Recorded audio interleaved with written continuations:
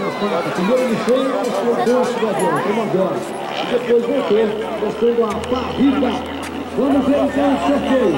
Presta atenção aí se seu nome vai ser chamado, galera. Tempo, Juninho.